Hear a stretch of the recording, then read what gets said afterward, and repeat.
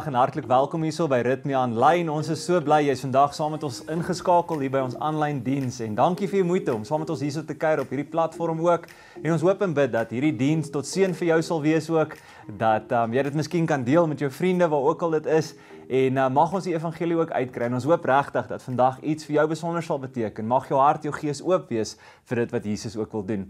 So voordat ons verder in die diens gaan inval, net so 'n paar belangrike afkondigings hier van Ritmea gemeente se kant af. So 'n paar goed om vooruit te kyk hierso by ons gemeente. Nou heel eerste, ons het altyd in-persoon dienste hier by 44 Blendelaan en ons wil jou graag uitnooi. Indien jy ooit in die omgewing is en jy kan, jy die moed spoed Kom kuier saam met ons elke liewe sonoggend om kwart oor 9 en dan het ons ook ons aanddienste om 6uur.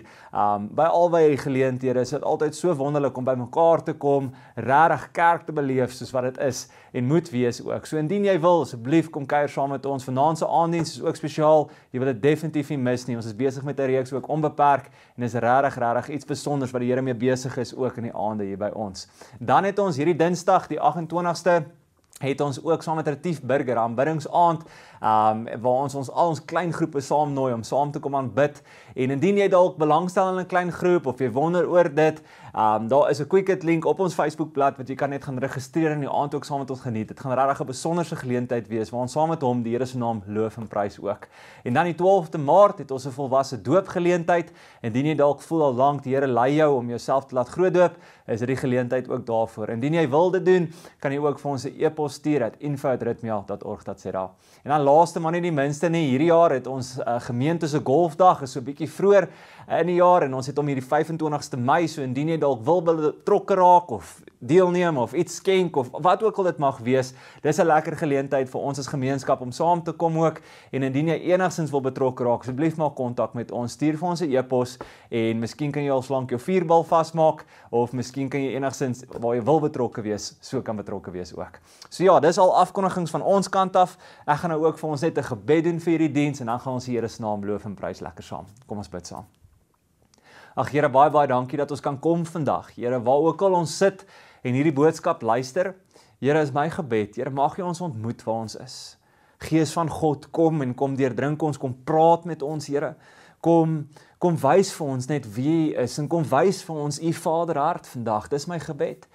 Here, dankie, dankie dat U 'n God is wat lewe, God is wat persoonlik wil intree in elkeen van ons se lewens.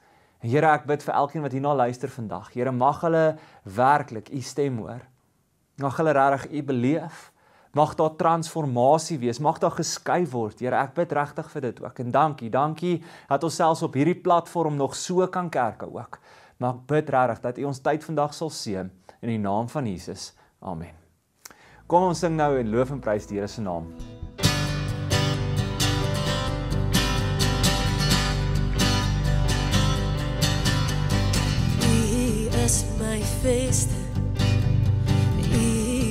My krag is my bron en is my rede die een op wie ek wacht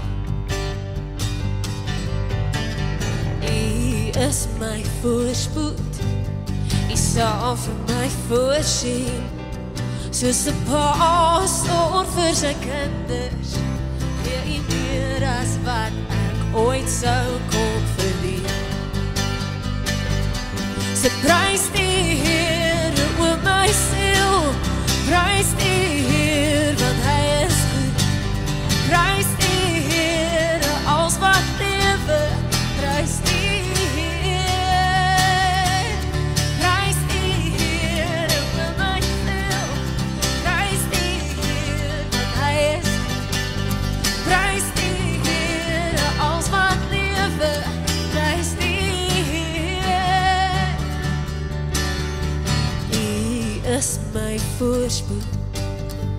sal vir my voorsien. Soos 'n pa stor vir sy kinders, gee u meer as wat ek ooit sou kon verdien. Hey, so prys die Here o my siel, prys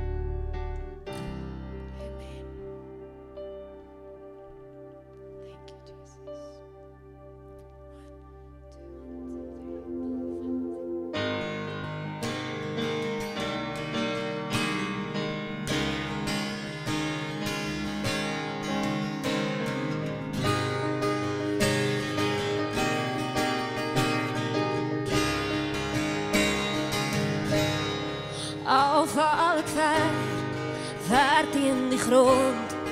Tel in my op, maak my gesond. Al daal ek diep en pyn en verloor. Sal in my help, sal in my word. Word as ek skree,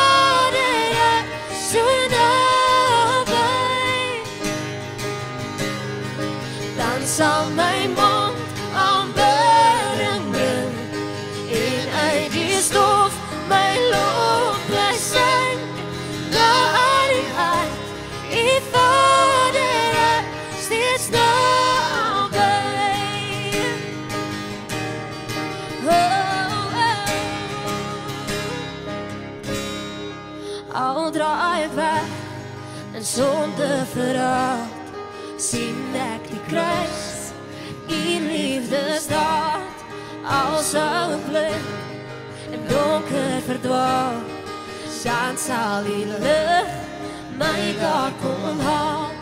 U sien my vrees en slaan u van dood, u hoor my kreet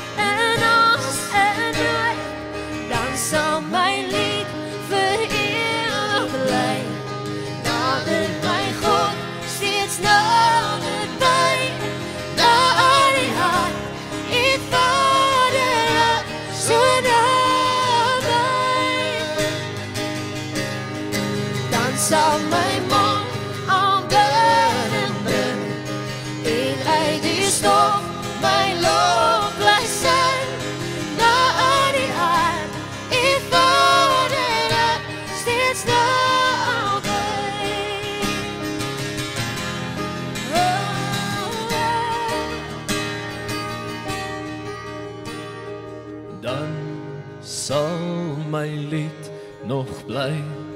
Nader my God by u.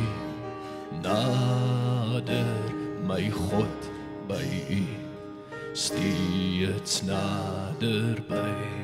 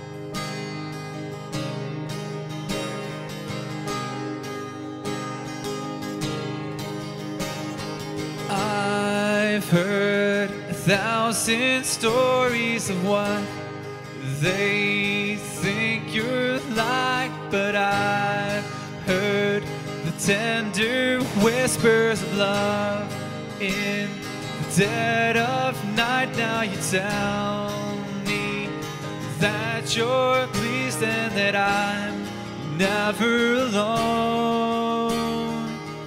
You're a good, good father.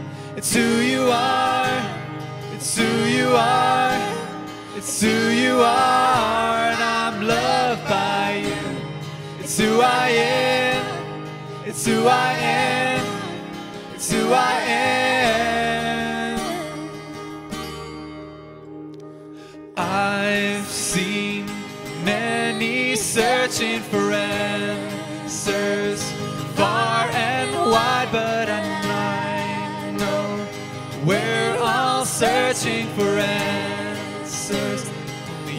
provide cause you know just what we need before we say a word. You're a good, good father. It's who you are. It's who you are. It's who you are. And I'm loved by you. It's who I am. It's who I am. It's who I am. Cause you're perfect in all of your ways. You're perfect in all of the ways.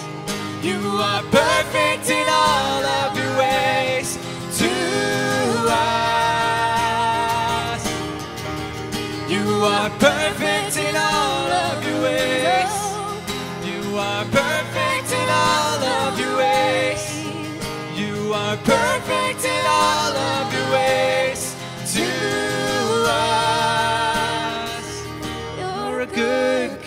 father. It's who you are. It's who you are. It's who you are. And I'm loved by you. It's who I am. It's who I am. It's who I am. You're a good, good father. It's who you are. It's who you are. It's who you are. It's who I am. It's who I am. It's who I am. Kom ons bid weer saam. Here baie baie dankie net vir die tyd van aanbidding waar ons werklik net ons hart, ons gees kan fokus op wie is, Here. En dit is so lekker om liedere te kan sing en te kan verklaar hoe groot U is en goed U is, Here, en en hierdie waarhede oor U sing en oor ons eie gees net sing, Here. Ek dink soveel keer Here raak ons vasgevang in hierdie wêreld en wêreldse dinge met ons eie lewe en eie probleme. Ek dink soms vergeet ons so van U. En Here, dankie vir hierdie. Dankie vir liedere wat ons help herinner wie is en dat U ons God is en ons Vader is. Vader, ek bid regtig vir die woord wat ons vandag ontvang. Here, mag U spreek. Mag U antwoorde gee. Here, mag U deur hierdie woord regtig U U hart en U wil bekend maak aan elke liewe persoon wat hierna luister. Here, dankie dat U 'n lewendige God is en Here, U wil spreek, U wil werk. Here, ek bid dat elkeen sal oop wees en ontvanklik wees vir dit wat U wil doen vandag. Ons loof en prys en ons bid hierdie vandag in die naam van Jesus ook. Amen. So van my kant af weer eens as jy nou eers ingeskakel het of so, ons is bly jy's hierso en as jy die laaste paar weke saam met ons kuier hier by Ritmia gemeente, is ons besig met 'n reeks onderskeid. En ons praat bietjie oor die konsep van hoe ek en jy die wil van God moet onderskei in ons lewe. Want daar God het 'n wil en God se wil oor ons lewe is goed en ek en jy moet in ons lewe permanent soek na wat is sy wil vir ons lewe. Hoekom moet ons sy wil soek en en en en en hoe hoekom is dit belangrik dat ons dit in ons lewe toepas? Want jy sien, die Here het vir my en jou as mens 'n vrye wil gegee, nê? Nee? Om te kan kies en en dinge te kan kies. En baie keer is ons wil baie keer selfsugtig gesentreerd, miskien deurdrink deur ons sonde of of vasgevang in wêreldse goed en kultuur en en die Here se wil is daar ook en en is hierdie konstante stoeiery tussen my wil en God se wil.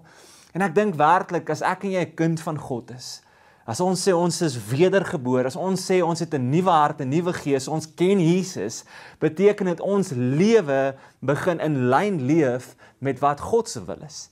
So is belangrik dat ek en jy sal kan onderskei tref vir wat is sy wil vir ons lewe en wat is miskien my wil. Nou vandag gaan ons bietjie verder en ons gaan oor hierdie konsep verder gesels vandag. Maar ek wil begin deur vir jou net te vra, het jy al ooit gevoel asof iets nie reg is nie? asof daar meer moet wees rondom sekerheid. Het jy al ooit so gevoel? Dis amper soos 'n pakkie lys chips, nê? Nee?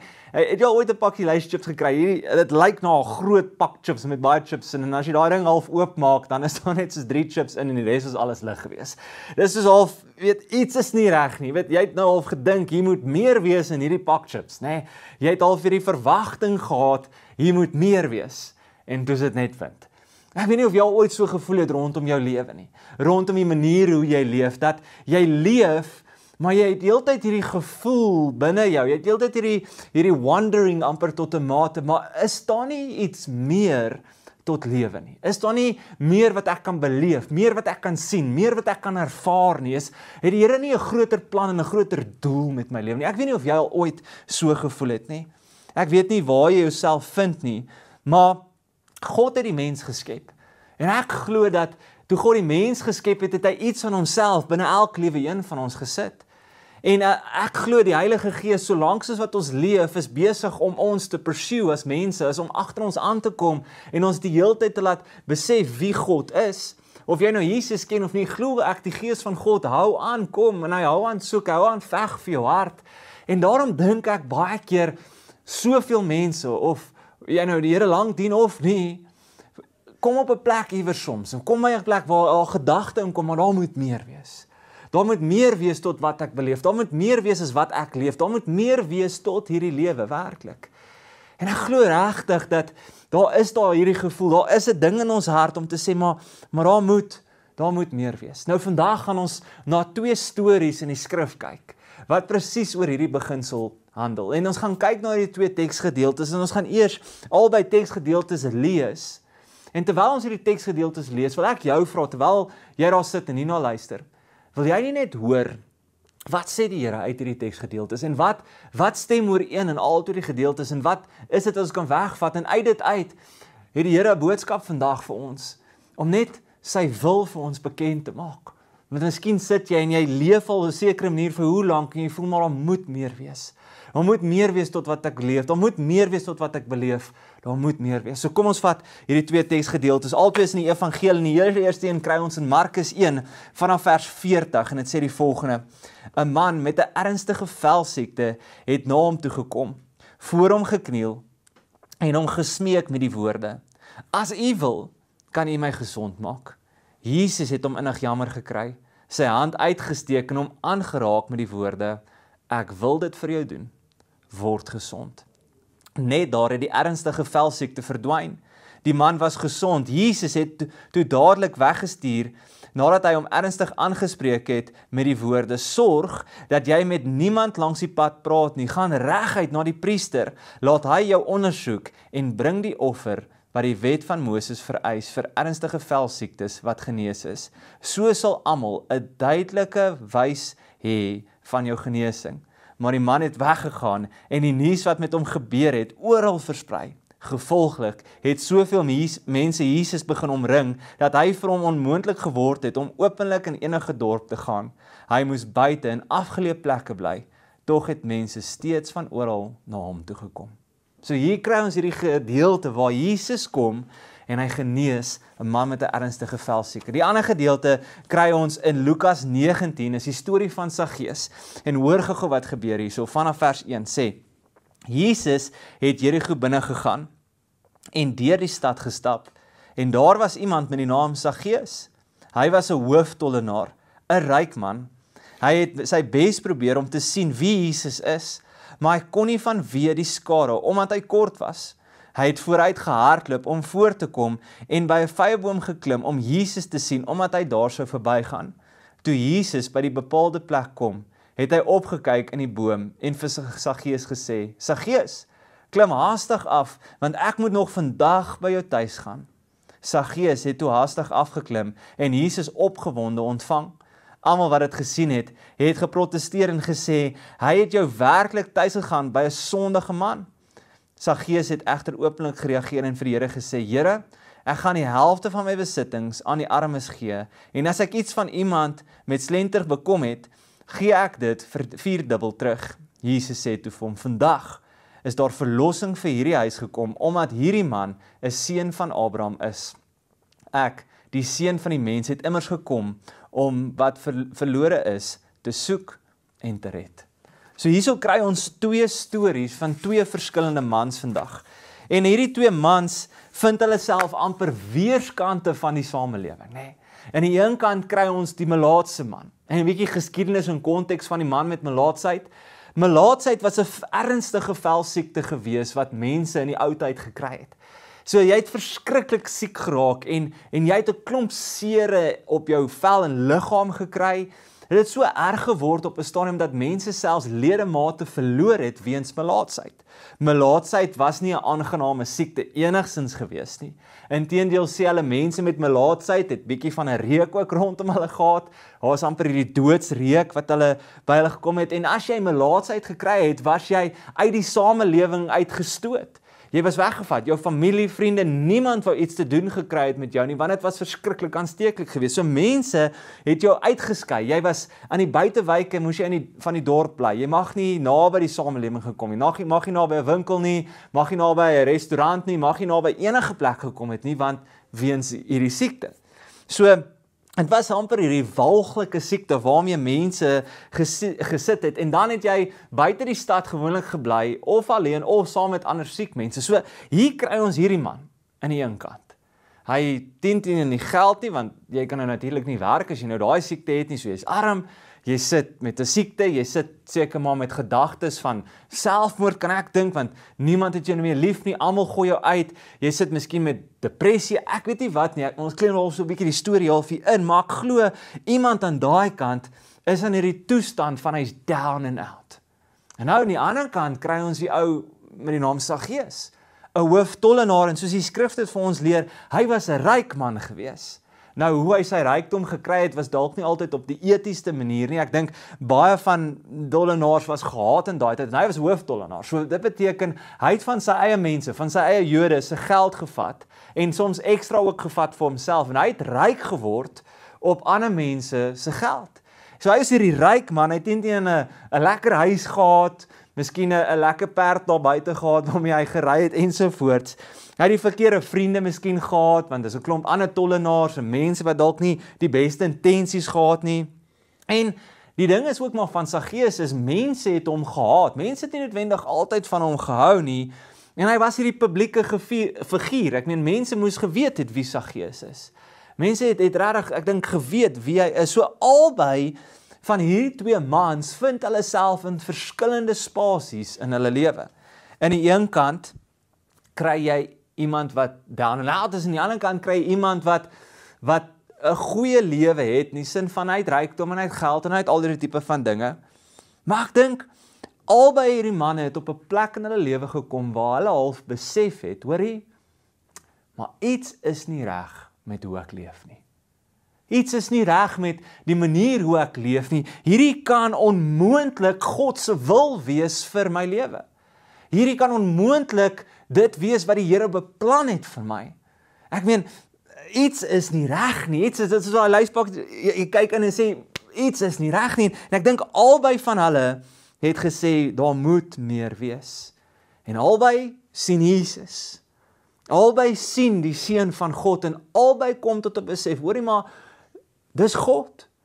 En as ek nader aan God kan kom, is ek seker ek gaan 'n antwoord kry. As ek nader aan hom kan beweeg, is ek seker daar gaan daar gaan antwoord kom en en wat gebeur is albei gaan nader aan Jesus en Jesus bring genesing en verlossing vir albei man.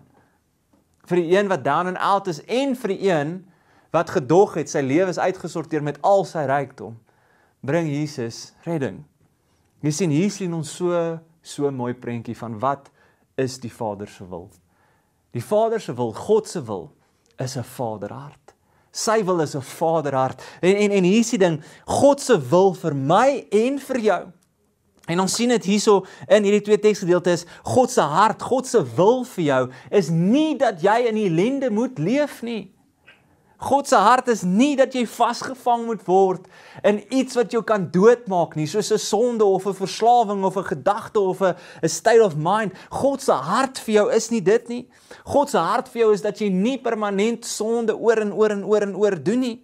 God se hart is dat jy sal sal meer as dit wees. Sy hart is nie dat jy sal siek wees nie. Sy hart is nie dat jy sal swaar trek of vasgevang wees of depressief is nie, want onthou, God is 'n goeie Vader. God is 'n goeie Vader. Hy is 'n goeie Vader en ek wil vandag vir jou sê, ek weet nie hoe lank laas jy dit gehoor het nie, maar besef dit dat God is 'n goeie Vader en hy is lief vir jou.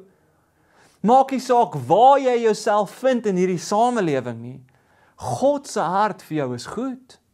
God se hart vir jou is goed. En as jy kyk na 'n vaderhart, sal jy besef 'n vaderhart is goed.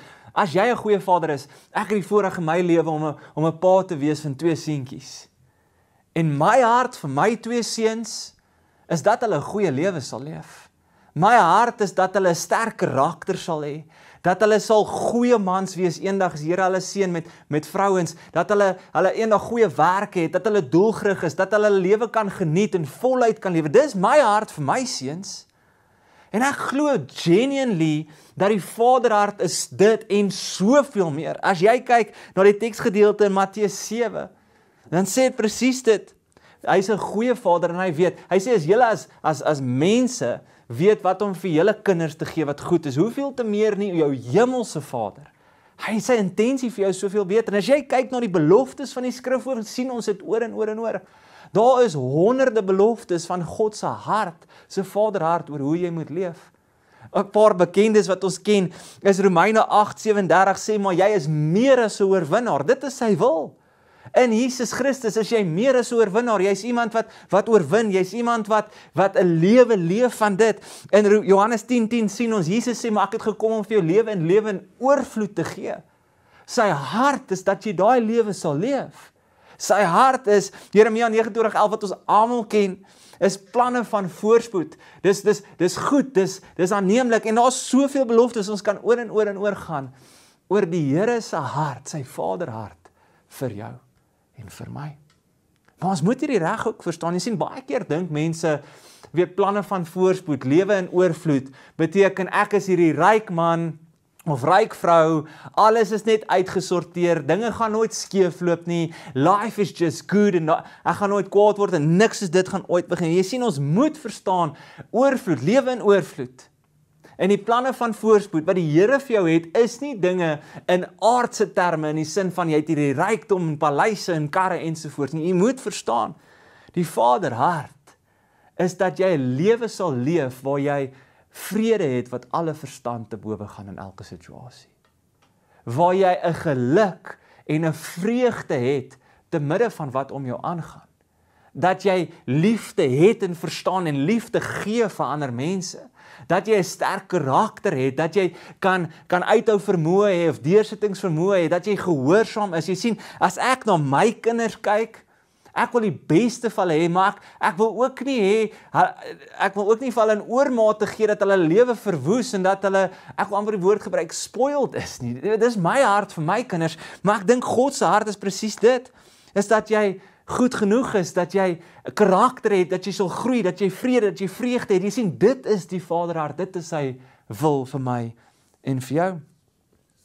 En as jy kyk, sê Jesus dit presies so. Hy het gesê ek gee, maar nie soos die wêreld gee nie. En dis sy hart vir jou, vir my. En ek dink as ek met jou moet kom sit en ons moet 'n gesprek voer en ek vra vir jou, hoorie, wil jy dit hê vir jou lewe? Soek jy vrede wat alle verstand te bowe gaan? Wil jy liefde hê en beleef? Wil jy vergenoegd wees? Wil jy gelukkig wees? Wil jy vry wees? Wil jy 'n sterk karakter hê en 'n sterk uithou vermoë hê en die manier hê om gehoorsaam en sy stem te kan hoor? Dink ek almal soek dit.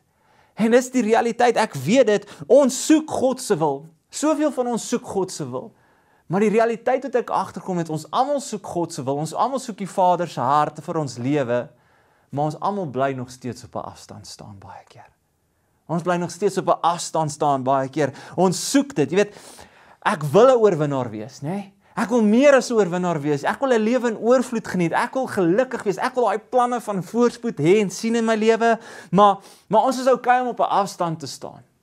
Ja, ek soek dit, maar ek ek hou aan op 'n afstand staan. Jy sien ons sien hierdie soveel kere. Nee, ek was skuldig vir baie jare in my lewe. Ek het God se guns, God se seën, ek het ek het hierdie goed gesoek. En dan het ek kerk toe gegaan, maar dinge het nooit verander in my lewe nie.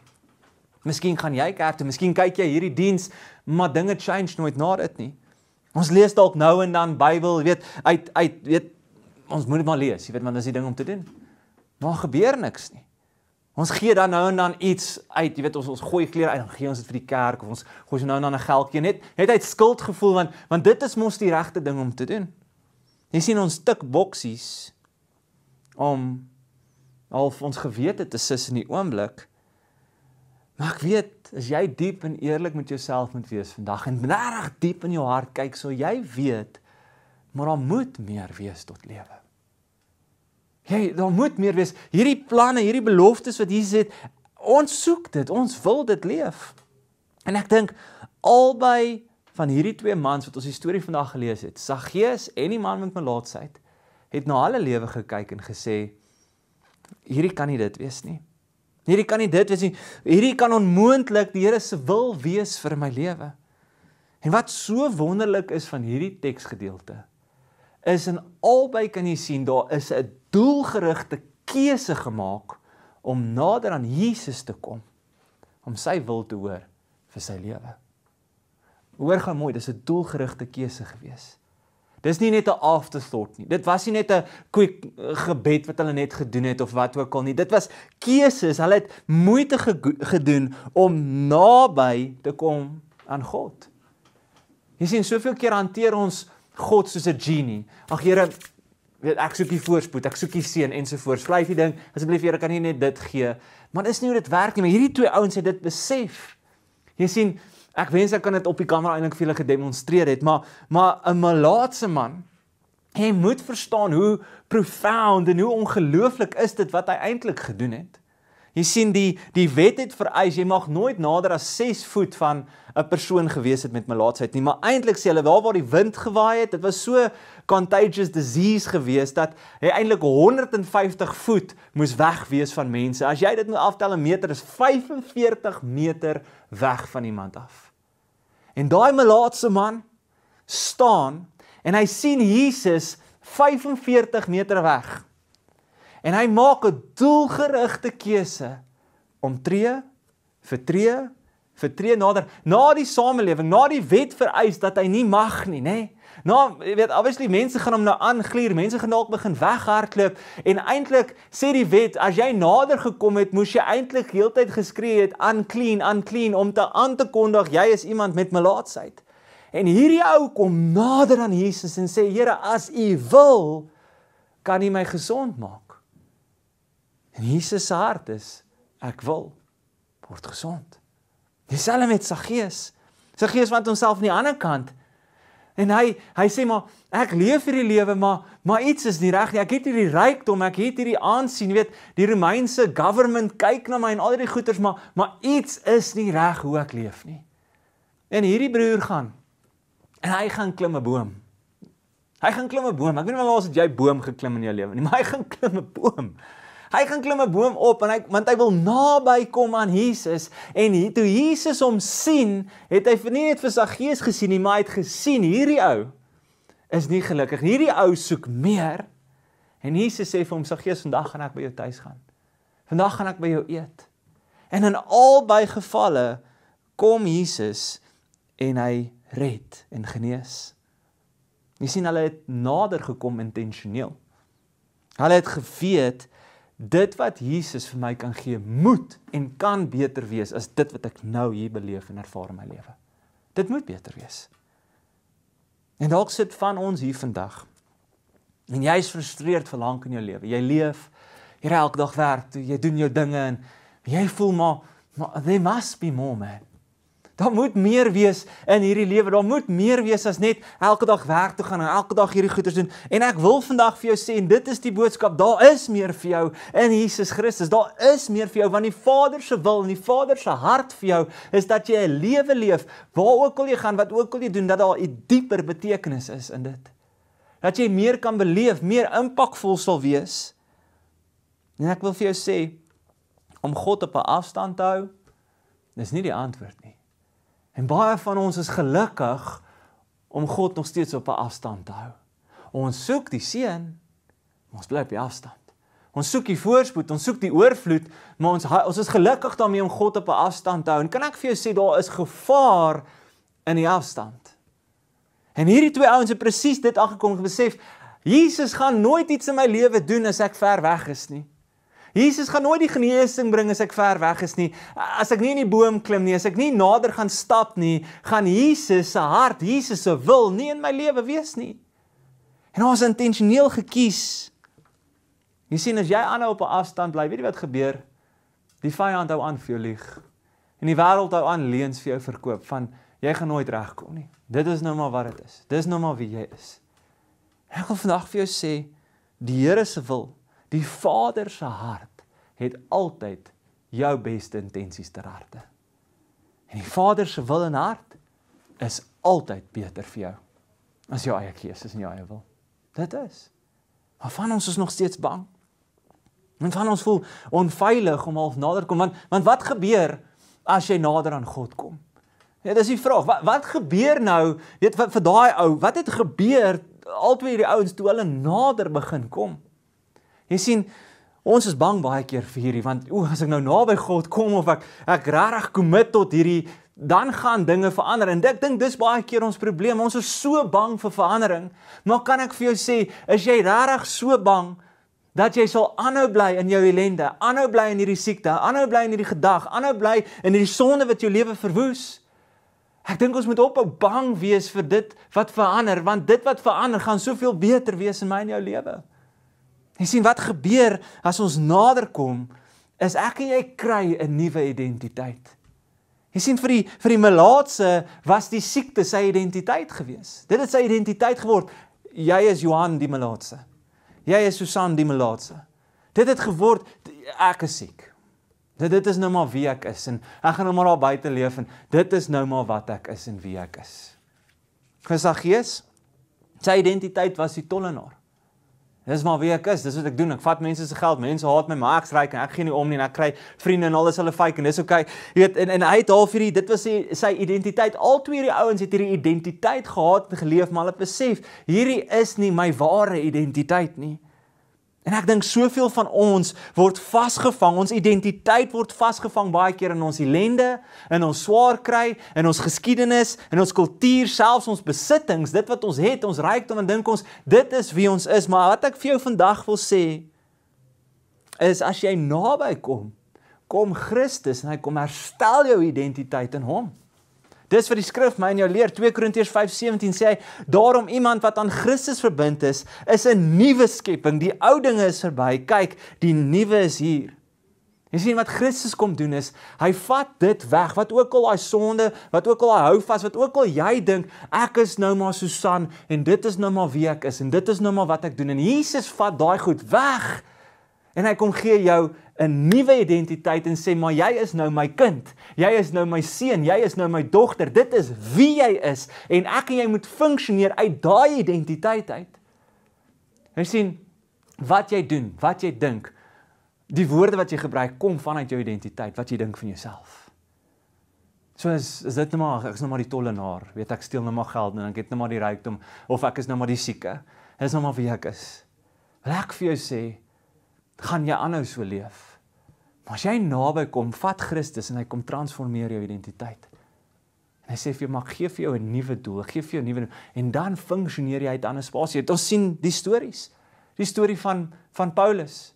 Hy was eers Saulus, hy was eers hierdie moordenaar, die ou wat die kerk vervolg het, hierdie verskriklike bloed dorstige mens gewees waarvoor mense bang was. Jesus ontmoet hom, Jesus verander sy identiteit en sê jy sal nou Paulus wees en Paulus begin anders te leef weens sy nuwe identiteit in Christus. Hy begin kerke plant, hy begin evangeliseer, hy begin mense genees. Dieselfde met Petrus. Petrus was die visserman gewees. Hy was weet hierdie ou en dit was sy identiteit en toe Jesus ontmoet en sê maar jy sal Petrus wees en op jou sal ek my kerk bou. God kom gee vir hom 'n nuwe identiteit. Hy kom gee vir hom 'n nuwe doel. En het funksioneer ons. Jy sien ons is baie keer bang vir hierdie want ons het gemaklik geraak. Ons het gemaklik geraak en maar dis maar wie ek is. Kan ek vir jou sê daar is meer tot lewe. Jy kan meer wees as wat jy nou is in Christus.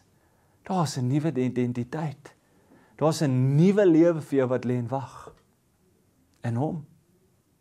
As ons nader kom, as ons intentioneel nader leef aan hom, lyk dit anders, dit lyk beter. Die tweede ding wat gebeur, en hierdie was my nogal so so profound geweest, is mens begin weer voel. Nogals en ek dink baie weet hierdie, maar as jy die siekte van melaatsheid gehad het, het die pyn so erg geraak dat jy naderhand nie meer pyn gevoel het nie. Jy het nam geword vir vir wat ook al daar is. En dan mense letterlik ledemate verloor, maar jy het dit nie gevoel nie want dit is wat die die siekte gedoen het.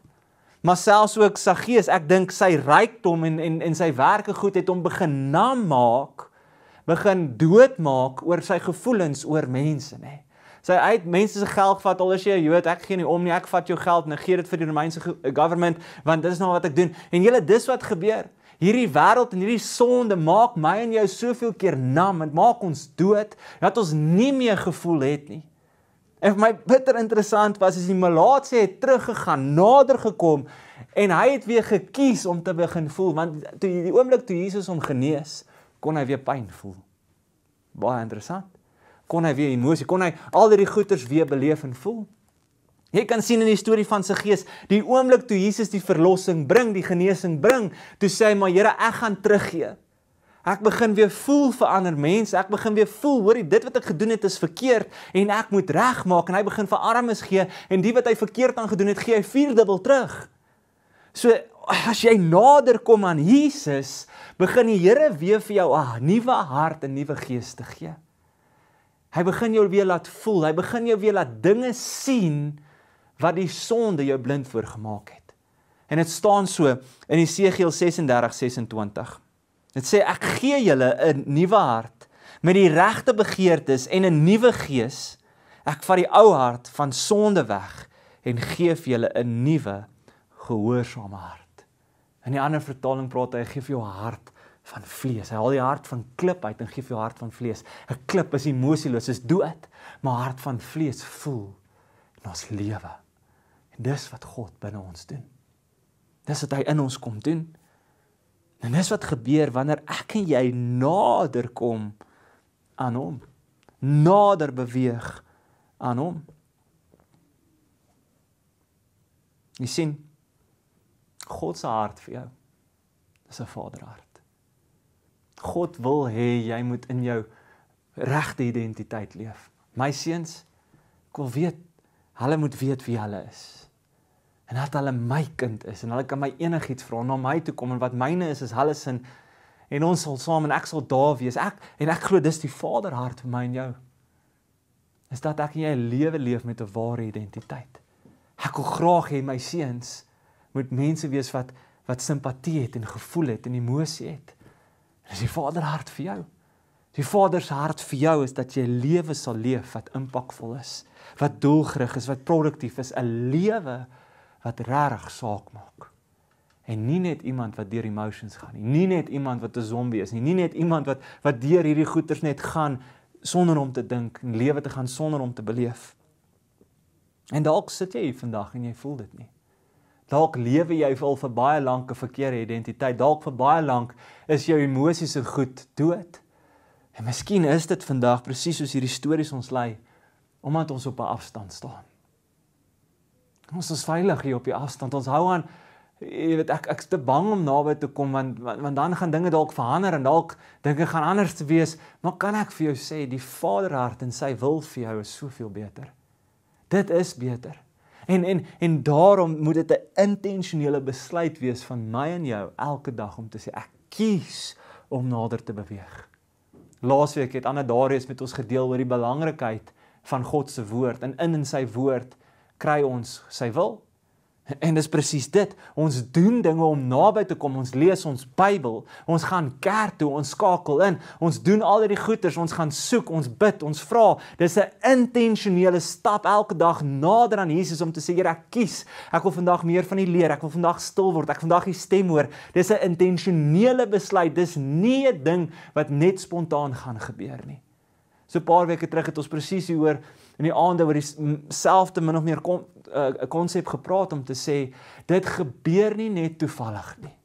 Dis 'n intentionele besluit om te sê ek gaan nader. En die Here wil mooi goed in ons lewe doen. So miskien staan jy al vir baie lank nog steeds op 'n afstand. Jy noem jouself 'n Christen. Jy is op 'n paar keer kerk toe, ons ons doen die gewoonte ding. Maar is jou lewe werklik in die volheid van wat Christus beplan het vir jou?